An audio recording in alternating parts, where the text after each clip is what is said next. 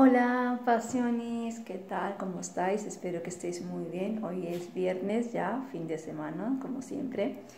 Pues nada, hoy vengo con un tema a hablaros, que un tema a mí me interesa mucho porque es un tema que yo amo de este tema, o sea, lo amo, por eso vengo a hablar de este tema.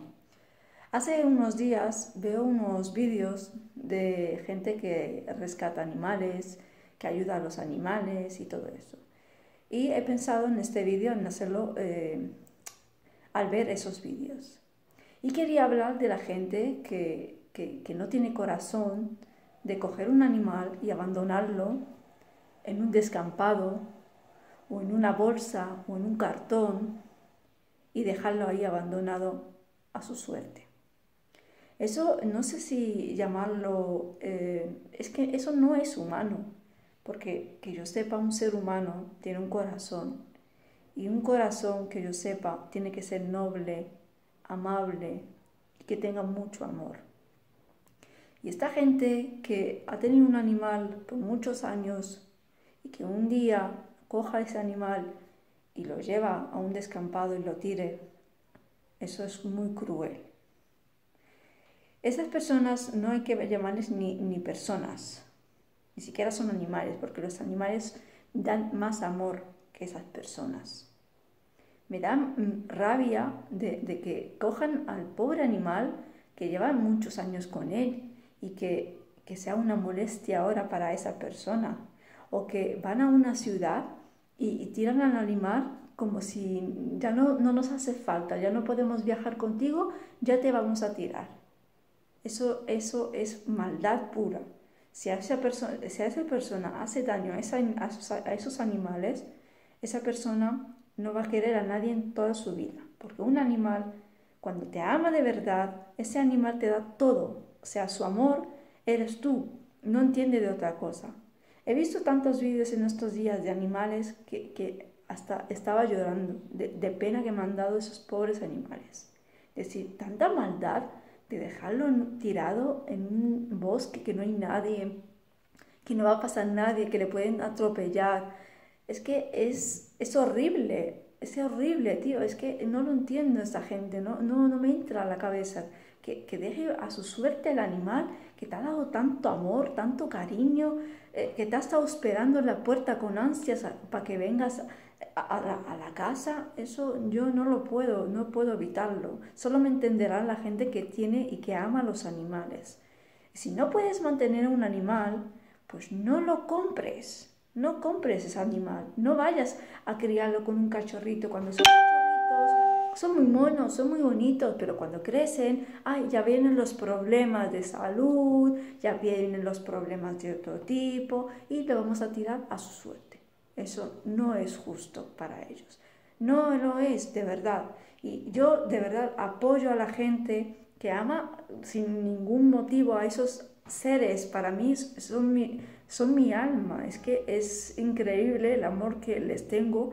Yo a mis gatos, voy a llorar porque me emociono de este tema, yo a mis gatos nunca los podía abandonar porque el amor que me han dado es increíble, ¿sabes? Lo siento chicos, de verdad. Pero me da mucha rabia que, haya gente que haga eso. Y de verdad, el día de mañana que queréis un animal, tenéis que ser responsable con ese animal. Porque es, es todo, es, es, como un hijo. O sea, hay que, un hijo no puedes abandonarlo. Eh, pues esto es igual, es como un hijo, es una responsabilidad muy grande de tener un animal. Tienes que ver en el futuro si vas a poder mantener ese animal. Si vas, vas a ver que no vas a poder mantener ese animal, pues no lo compres. Deja a otra persona que sí lo puede mantener. Porque hace poco una amiga mía ha ido a, a, un, a las asociaciones de animales y hay de todo tipo de animales abandonados. Están tristes, no pueden comer. ¿Por qué? Porque da pena, porque vivían en un entorno y que el día de mañana le lleve a una asociación de ese tipo y que estén encerrados en una jaula, pues me parece muy injusto. Es como tú, por ejemplo, tu madre, por ejemplo, un ejemplo, te, te, te pare a ti, te hace crecer te alimenta y luego tú, tu recompensa es llevar a tu madre a una residencia. Eso me parece injusto. Pues esto es lo mismo, esto es peor todavía. Le dejas a la suerte en un bosque tirado y, si muere, pues muere. Y si le toca a alguien, pues le tocó. Y a mí eso me parece injusto. Me parece muy injusto que haya gente de ese tipo y me duele el alma que, que hagan esas cosas con esos animales.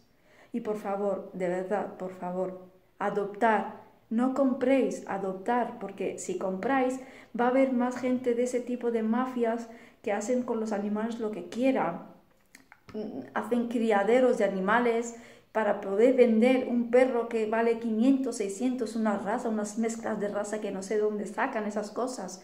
De verdad, adoptar, porque hay muchísimos animales en la calle. Hay muchísimas asociaciones que necesitan ayuda de, vosotros, de los animales.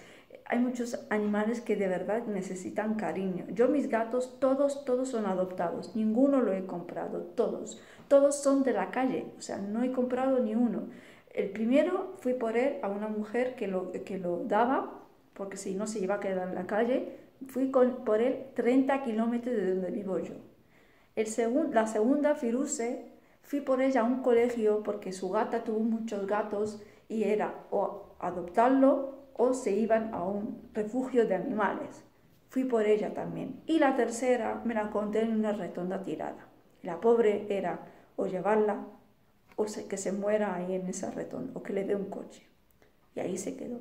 Yo no puedo mantener a más gatos, por eso yo no puedo mantener a más. Pero con estos tres les doy mi vida. Si les pasa algo, es que como si me pasaran a mí algo. Si le duele algo, es como si me doliera a mí algo. Es como, es, son todo para mí, porque han estado conmigo, perdón,